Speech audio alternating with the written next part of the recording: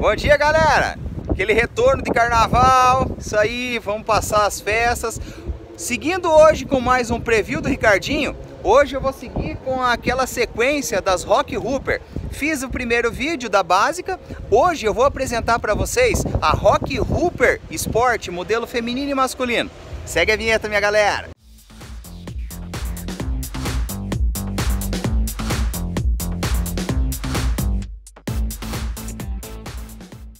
Meu Deus do céu, lá vem Giannick, gente. Esse é um desgoverno, olha aí, ó. Ô, louco! Ô, louco!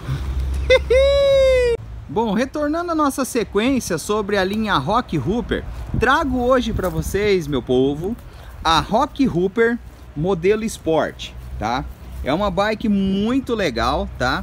É uma bike que ela tem um diferencial que nesse, nessa série ela já vem uma composição de 24 velocidades, tá? Temos aqui, ó, ela é 24 velocidades no Shimano Acera, transmissão de cassete Sunrace 1134. Na sequência aí, pé de velhinha Stout, muito top, um pé de velhinha com uma transmissão legal. Temos aqui, ó, câmbio dianteiro Altos, Nessa sequência que eu estou mostrando, essa bikezinha amarela é um modelo masculino, tá? Ela vem equipada, gente, com suspensão dianteira XCT. Esse caso aqui, ela já é uma suspensão hidráulica. Ela já vem ali, ó, com travinha de ombro. Um adereço bem interessante para vocês, tá, gente?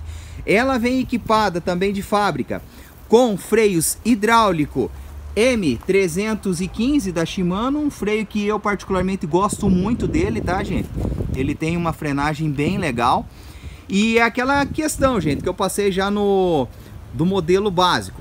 Ela tem o seu diferencial de frame no masculino e no feminino.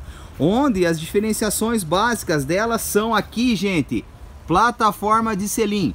No caso da masculina, gente, ela vem equipada com o selim range. É um selim bem legal, esse range aqui ele é um selim bem confortável, tá? Plataforma 143, as manoplinhas ali, mesinha stout e assim por diante. Partindo para o nosso modelo feminino, Rock Hooper Sport, modelo feminino. Então tá aqui, ó, ela tem um grafismo bem bonitinho, bem legal, um grafismo fosco aí, ó. Denominação. Ó, ah, gente, interessante para vocês já pegar um pouquinho dos macetes da Specialized. Bicicleta de montanha, montanhazinha ali. Feminina, montanhazinha cinza. Masculina. Montanhazinha preta, tá, gente? Isso é interessante, é legal.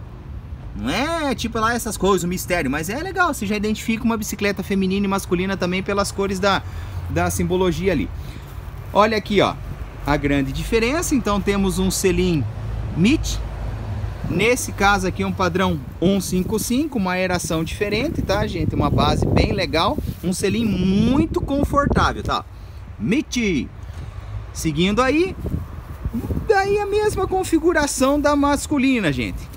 Ela vem com uma transmissão no Acera aqui atrás, cassete Sunrace de 1134, câmbio dianteiro Altos, pé de velhinho Stout, grafismo bem legal.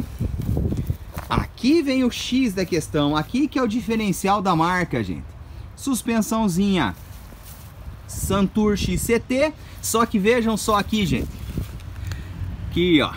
Tananã ela vem aquela ajuste da Specialized, gente, que é aquela base que ela vem com pré-carga específica para densidade óssea feminina. Então, ela já tem um, um toquezinho da Specialized, adequando essa suspensão para o peso, para a carga feminina, que a estrutura, a base dela é bem diferenciada da estrutura óssea masculina, tá, gente?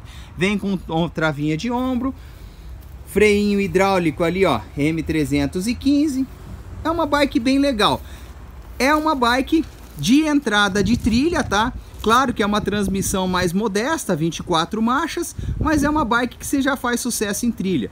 E ela ainda possui aquele mesmo frame da, da básica que eu comentei com vocês semana passada, tá?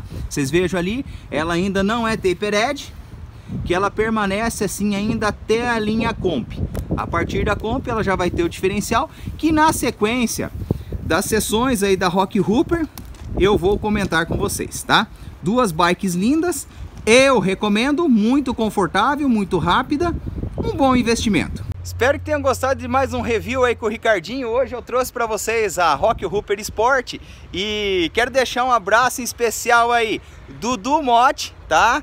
Do nosso pedal urbano de segunda-feira, Murilinho, meu garoto, Joãozinho, Joãozinho Frost Gente, essa galerinha sangue bom aí que vai trazer muito fruto aí no futuro para o ciclismo de Cascavel. E um abraço em específico para o meu amigo Jean Carlos Yannick, campeão paranaense de XCO 2017. Se louco vocês viram descendo aí com uma Epic Brain aí é muito massa, gente. Essa galera é muito sangue bom. Espero que vocês tenham gostado do vídeo. Vamos fomentar, vamos deixar um joinha, porque esse vídeo, gente, esse canal é feito para vocês. Abraço, fiquem com Deus.